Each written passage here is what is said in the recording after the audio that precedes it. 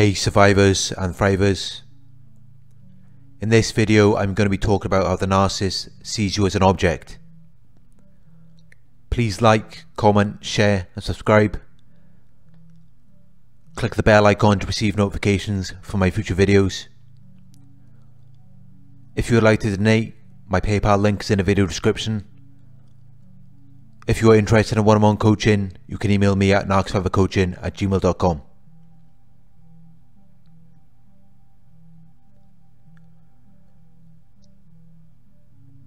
The narcissist sees you as an object. The narcissist sees you as an object or as an extension of them. They only care about what you can give to them or how, how you make them feel. They do not see you as a separate human being with your own needs or emotions. They don't really care about what you need or how you feel. The narcissist sees you as a material thing that can be seen and touched. You are also a thing to which a specified action or feeling can be directed. Whether the narcissist is looking at you, touching you, or directing a specified action or feeling towards you, this all revolves around regulating their self-esteem and their emotions. Whether it is positive or negative attention, it has nothing to do with you personally, because the narcissist does not see you as a person, they see you as an object.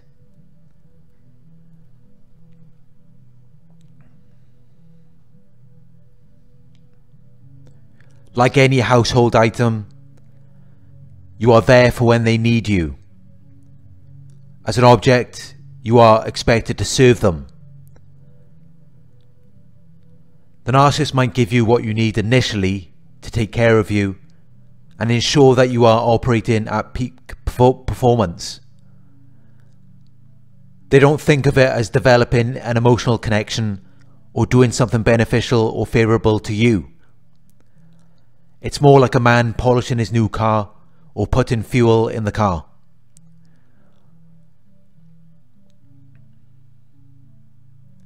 The narcissist sees you as a prized possession. You are meant to look good and you are meant to make them look good. So that people will admire and compliment you. At the beginning of the relationship, the narcissist will see you as an object, but also as a positive extension of them. In their minds, if people are admiring and complimenting you, they are admiring and complimenting them. They use you as a prized possession to extract supply from the people around them.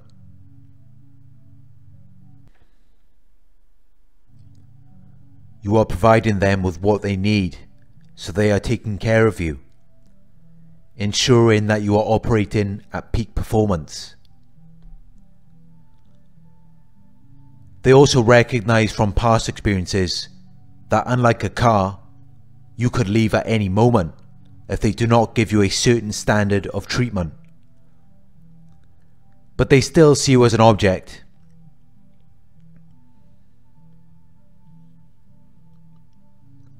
As time goes by, they might begin to ne neglect you or not provide you with the same treatment that they were giving you initially. Like with an object, they may get bored of you. This will affect your performance. You will no longer accomplish or fulfill a certain task or function as efficiently. The narcissist will not assume responsibility for the drop in your performance. They will not recognize that their change in how they treated you or neglected you could be the reason why you are no longer accomplishing or fulfilling a certain task or function. The narcissist will not assume responsibility because that would mean that they made a fault or mistake.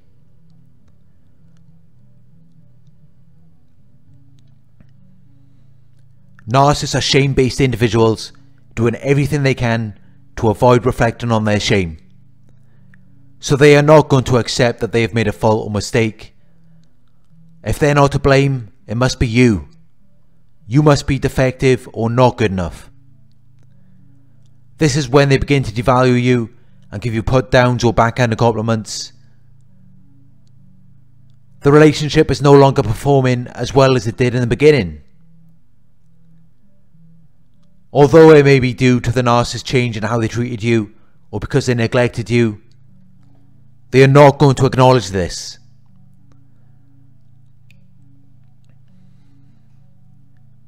They are shame based individuals, doing everything they can to avoid reflecting on their shame. So they are going to blame you. They are going to start devaluing and degrading you, telling you how you are not good enough for them or you can't do anything right. At this point, deep down they actually believe that they are not good enough for you. But they are doing everything they can to avoid reflecting on their true beliefs about the situation. They are actually envious of you and the qualities, talents and traits that you possess. But they cannot acknowledge this because that would trigger them to reflect on their shame. Instead, they will treat you with contempt and act as though you are worthless or beneath their consideration.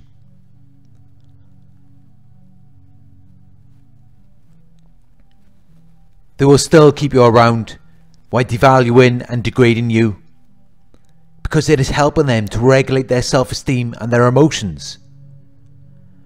But if you start confronting them about how they are treating you, it will trigger them to reflect on their shame. They may also assume that you are going to leave them.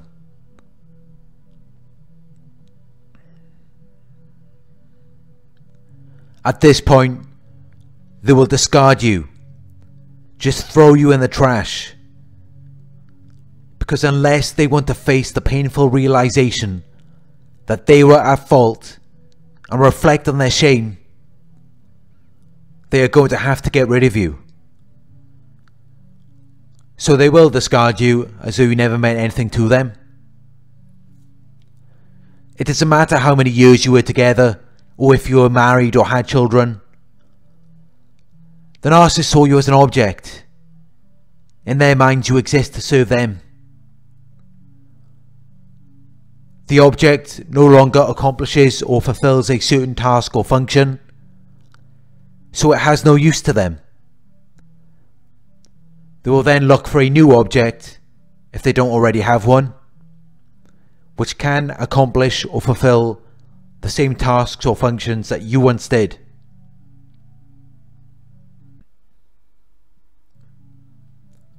When you are expressing your feelings to them, they might pretend as though they care about what you have to say, but they really don't. Narcissists are self-absorbed and lack empathy. They are imitating what they have seen someone else do, or what they have seen on TV or in a movie, where there was a similar situation. They don't really care about what you are expressing to them. All they care about is what they can get out of you, or how you can make them feel. But if creating an illusion of love or significance will make you stick around and give them more time to extract what they need from you, they will create an illusion of love or significance. This does not mean that they really love or care about you, although they will say that they do.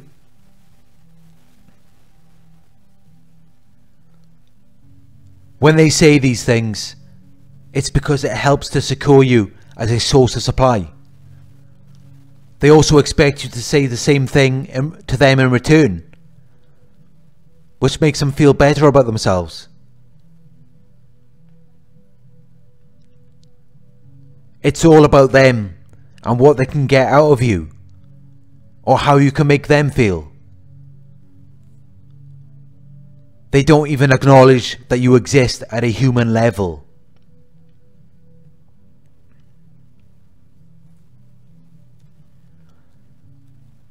When they try to fulfill your needs or give you compliments at the beginning of the relationship. This is all designed to either secure you as a source of supply, or they are seeking validation or compliments in return from you.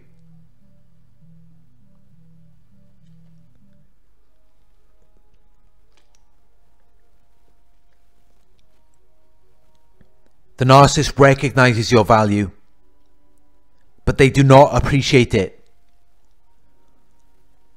They see you as a valuable object rather than a valuable human being. The more time you spend with a narcissist, the more this value will depreciate. The abuse and manipulation will also have an effect on you. One day the narcissist will leave as though you never meant anything to them. Because there was no real attachment, the narcissist cannot emotionally connect to you. They can only plan or coordinate the elements of a situation to produce the effects of an emotional connection. The narcissist does not see you as a human being they see you as an object. This is how they can leave you as though you never existed or meant anything to them. And then find someone else to replace you. No matter how many years you have been together, or if you are married or had children, they do not miss you as a person because they see you as an object. They might miss what you provided for them or how you made them feel. But they will find someone else to provide for them and regulate their self esteem and their emotions. There are no real feelings involved, only the illusion or simulation of feelings. Sometimes it can seem real, but narcissists will lie to themselves and act as though they are in love. That's why it may seem like they love you one day and then the next day they're gone.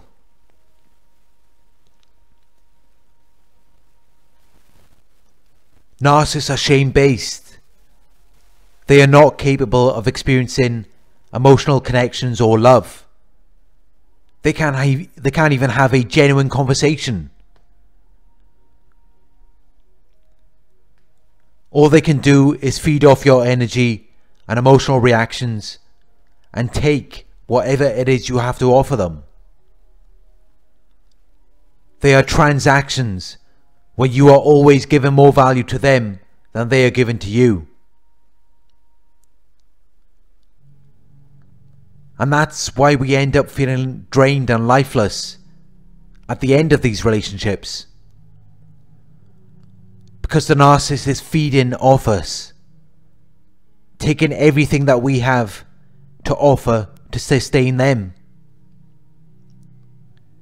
But nothing is ever enough because they have a huge void within them that can never be filled.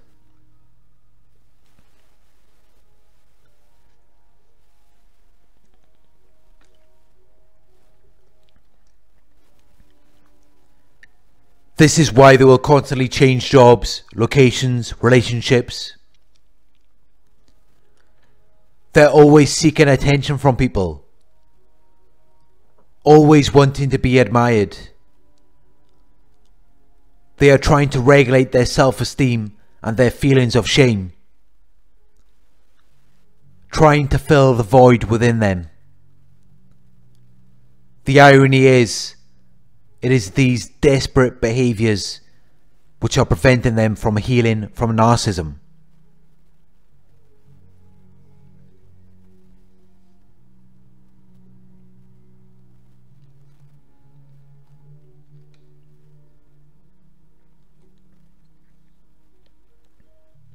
Thank you for watching.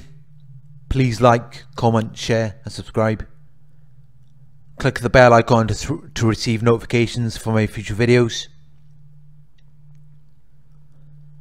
If you would like to donate, my PayPal link is in the video description. Coaching inquiries, you can email me at narcsurvivorcoaching at gmail.com.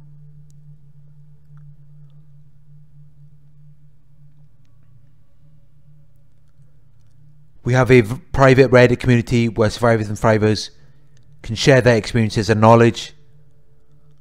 If you are interested in being a part of this community, you can sign up for our Patreon page. The link's in the video description.